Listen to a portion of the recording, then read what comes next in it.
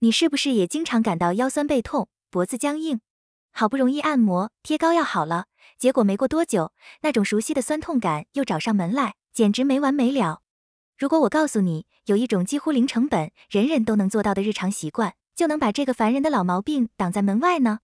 这不是什么偏方，而是一项刚刚发表在顶级医学期刊《美国医学会杂志网络开放 JAMA Network Open》上的最新重磅研究。在这项研究中，科学家们对七百零一名从近期腰痛中恢复的成年人进行了长达三年的追踪，想找出到底什么方法能最有效的预防复发。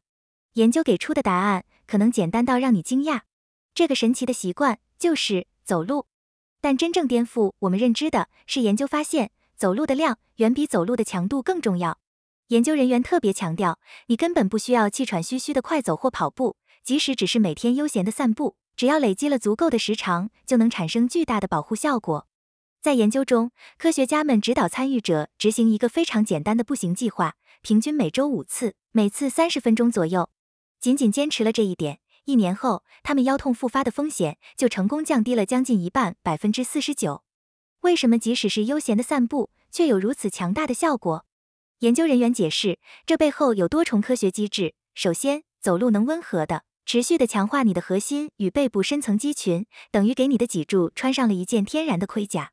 其次，规律的步行能促进脊柱周围的血液循环，带走炎性物质。最重要的是，它还能刺激大脑释放内啡肽，我们身体自带的最强大的天然止痛药。所以，别再把没时间、太累了当做借口了。你不需要办昂贵的健身卡，也不需要复杂的器械。拯救你于慢性背痛的解药，就藏在你最本能的日常行为里。